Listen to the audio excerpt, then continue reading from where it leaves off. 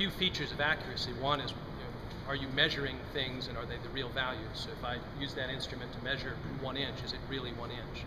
So that can be dealt with with a calibration and a quality control program.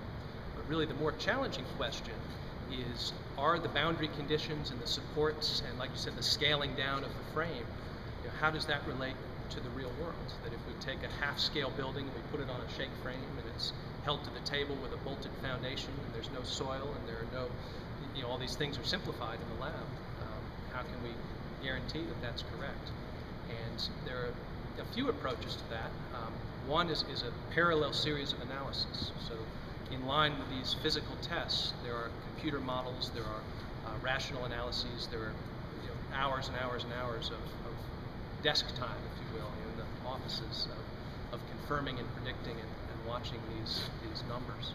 Um, another track would, would, go back to the field question that uh, was brought up here, that we would verify um, behavior in the field by going out and looking at, at an item uh, in the field and I guess the final point I'd make, in, in some cases you're not trying to simulate the exact field condition, you're trying to simulate the design condition.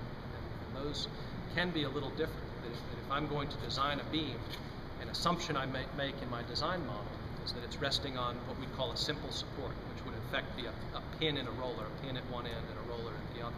So if that's what my design theory is based on, in a lot of cases I want to run the test to the design assumption, not to the, the real world condition. Um, and we can do that because the design assumptions are, are conservative in nature by the way they're designed, so that you would never see a true hemispherical bearing in the real world. You would see a beam sitting on a concrete block.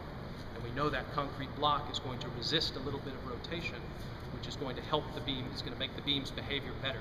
Whereas in the lab, we'll put that concrete block on a round steel surface, which we know has no contribution to rotation. So we know that the values we're getting in the lab are conservative when, when they're applied to the field, which would be the goal of the test. You'd never want an unconservative test. You'd always want to design those assumptions such that results are on the conservative side.